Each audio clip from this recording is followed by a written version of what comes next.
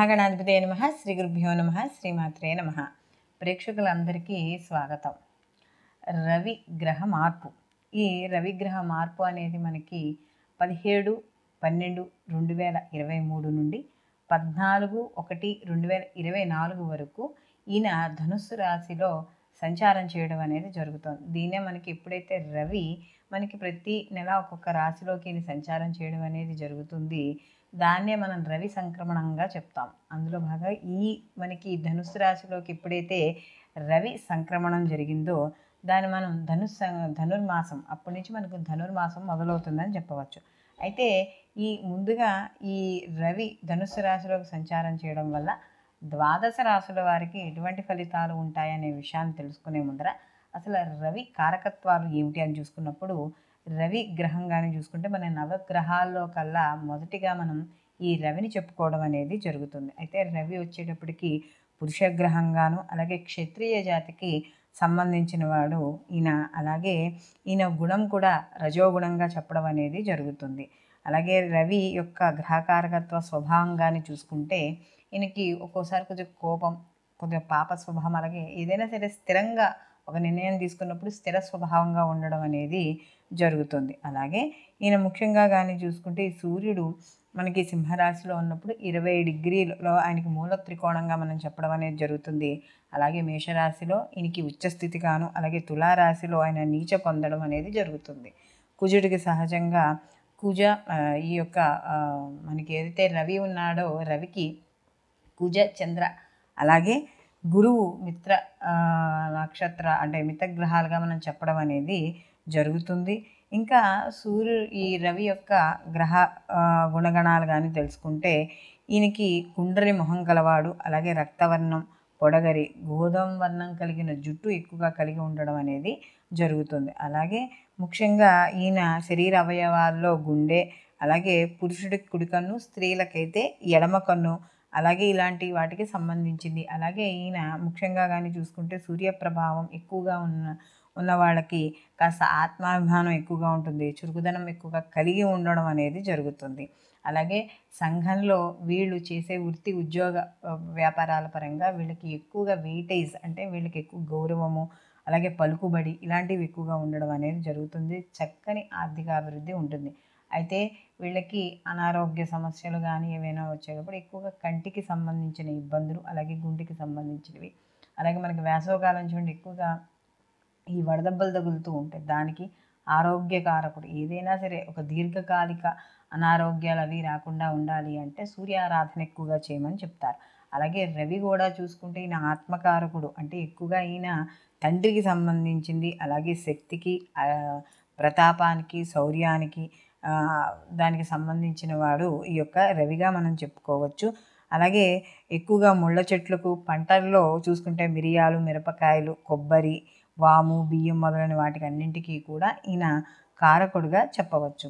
ముఖ్యంగా ఈ యొక్క ఏదైతే ఈ రవి ఉన్నాడో ఈ రవి హృదయ సంబంధిత మందులు వైద్యులు రిజర్వ్ బ్యాంకు సంబంధిత వృత్తుల్లో కారకత్వాలు ఎక్కువగా వహిస్తాడు.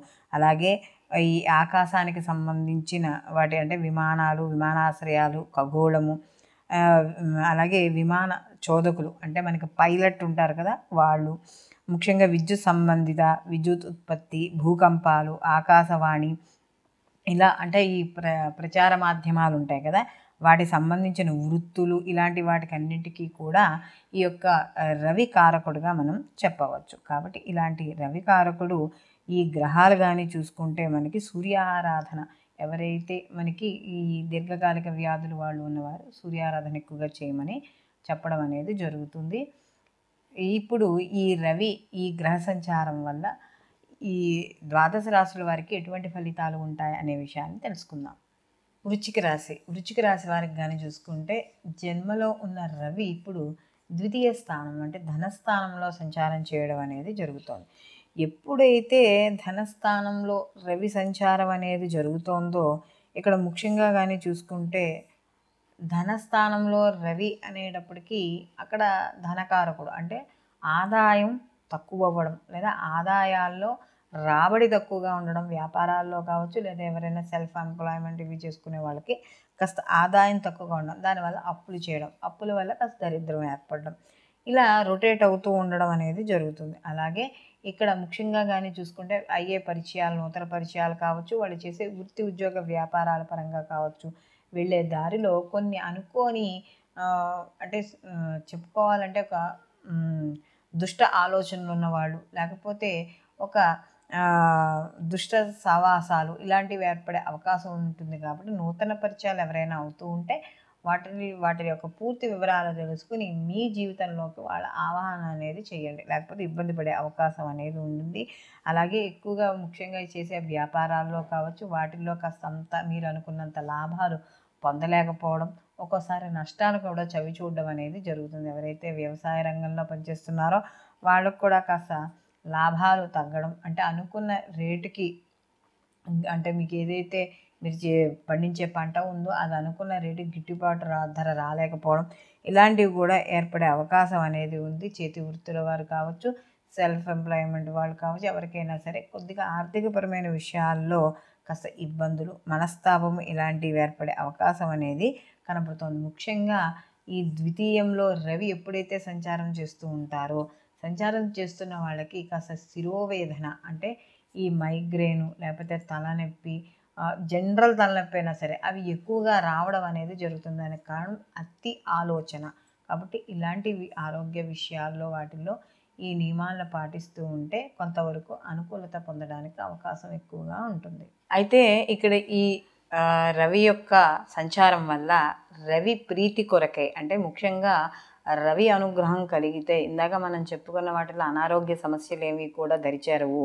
ఆర్థిక అభివృద్ధి కానీ అన్ని రకాలుగాను కూడా వీళ్ళకి అనుకూలంగా ఉంటుంది. ప్రతి పనిలోనూ కూడా ముందుకి వెళ్ళమనేది వెళ్ళడం అనేది జరుగుతుంది కాబట్టి ఈ రవి ప్రీతి కొరకై ఎందుకంటే సూర్యుడికి పళ్ళు ఉండవంటారు. అందు గురించి ఎక్కువగా వీనికి పాయసాన్ని చేస్తారు. అంటే గోధుమతో కలిపిన పాయసాన్ని కానీ కొంతమంది అన్న పాయసాన్ని కానీ చేయడం అనేది జరుగుతుంది. ఎక్కువగా గోధుమలు అనేవి రవిగ్రహానికి సంబంధించిన ధాన్యం కాబట్టి గోధుమ రవ్వ ఉంటుంది కదా అది బెల్లము నెయ్యి కలిపిన దాంతో దాంట్లో కాస్త సుగంధభరితంగా ఉండడానికి కాస్త మనం ఏవైనా యాలకులు ఇలా జీడిపప్పులు ఇలాంటివి ఏమైనా వేసుకొని చేసుకోవచ్చు.